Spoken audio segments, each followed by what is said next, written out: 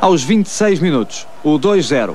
Mais um lance em velocidade, com Sabri mais rápido que os defesas do Beira-Mar a fazer o cruzamento para o pontapé de Poborski.